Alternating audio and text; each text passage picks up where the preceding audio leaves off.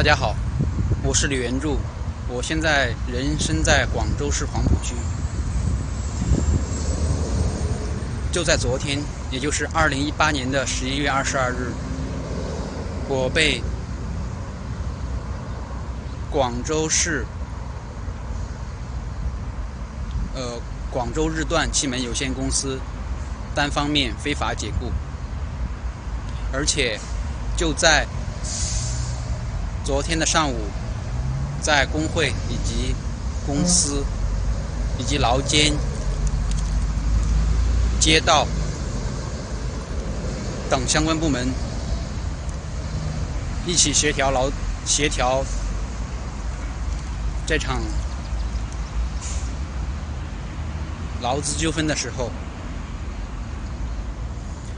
在毫无征兆的情况下，东区派出所的黑警。三名黑警由他们的肖副所长带领，在毫无征兆的情况下，强行把我按倒在地，抽掉我的皮带，解开我的鞋带，用双手用鞋带把我的双手双脚绑住，把我的头按在地上，强行这样把我五花大绑控制起来，然后将我抬从由三楼的会议室抬到了。抬到了一楼，然后又将我，然后又将我送至了东区派出所。这就是广州黑警的文明执法，他们的行为与黑社会有什么分别呢？细想近十多天以来我遭受的种种经历，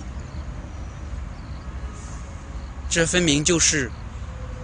一场有组织、有预谋针对本人的一一次打击事件、打击报复事件，其幕后黑手无法让我不去相信这是广州黑警的，就是幕后的主使者。因为在十一月九日凌晨，十一月九日二晚上二十三点，我被广州黑警六名黑警。直接强行闯入房间，将我本人控制后，在我的房间内长达进行了长达一一个小时的搜查，带走了我的个人物品，强行帮强行将我将我扭送至黄埔分局。刑警大队，对我进行了长达二十四个小时的，可以说是严刑逼供。最后让我去诬陷沈梦雨，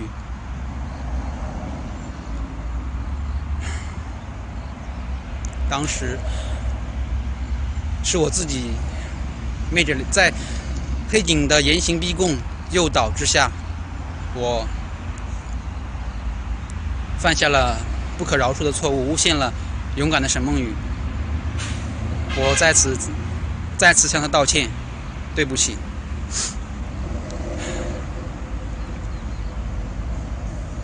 我认识到了自己的错误，错误行为，并愿意为此付出任何代价去弥补我的过错。随后，在二零二零一八年的十一月十七日，就是周一，就是上周一的上午，有两有两波。有两波警察来到广州日段汽门有限公司找我。第一波，第一波警察就是东区派出所的肖副所长过来说对我进行进行思想教育，其实就是威胁。第二波警察是黄埔分局的一位姓钟的警官。说来还我手机的，其实就是变相的又再次来骚扰我。然后到周到周三，就是这周周三，广州日段汽门有限公司的人事科长易美娇以及他的一位经理王爱民，先是告诉我。说要和我和我协商解除劳动关系，说频繁的有警察来公司找我，对公司造成了不良的影响，所以说要和我解除劳动关系。然后到周四，就是就是昨天一十一月的二十二日，公司强行的单方面和我解除劳动关系，而且就在当天，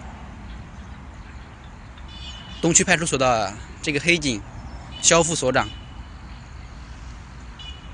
用暴力手段，用黑社会的暴力手段将我带至东区派出所。使我对人民警察的光荣形象受到了破灭。我也再一次认识了什么是警察，什么是人民警察。我在这里发这个声明，就是想希望大家看到我现在受的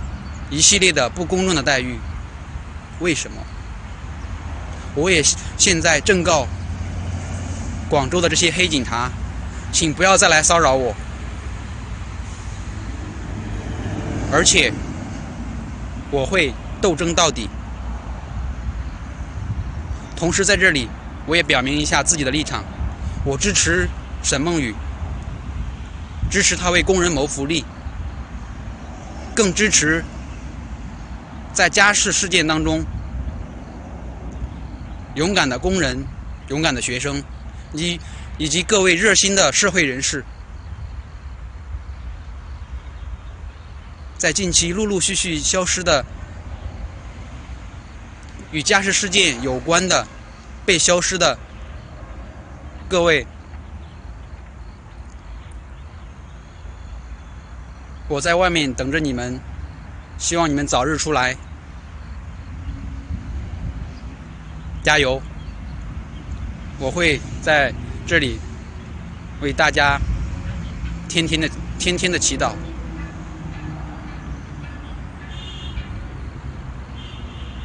我也更希望以后能有机会去认识每一位正义的、有良知的、心系底层的各位朋友。